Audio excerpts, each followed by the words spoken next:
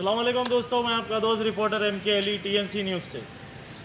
दोस्तों, जैसे कि आप लोग जानते हैं, कोरोना वायरस की वजह से सारा, सारी दुनिया और हमारा हिंदुस्तान, हमारा शहर हैदराबाद भी काफ़ी इसमें मुतासर है, काफ़ी परेशान है। क्या आप चाहते हैं कि ये बीमारी बढ़ती रहे? अगर आप नहीं चाहते ये बीमारी ना बढ़े, आप चाहते हैं कि ये बीमारी ना पड़े और इसे रोका जाए तो आप इस पर पाबंदियाँ करिए। जैसे कि आप देख सकते हैं, आज ये किशनबाग चौराहा, जहाँ इस तरीके से इसको बंद किया गया। क्या आप चाहते हैं कि आपके मोहल्ले, आपके बस्तियाँ भी इस तरह से बंद किए जाएँ? तो दूरी बनाए रखिए सोशल डिस्टेंस रखिए, लोगों में मेल मिलाप कम करिए और अपने घरों में रहिए। बहुत बहुत शुक्रिया।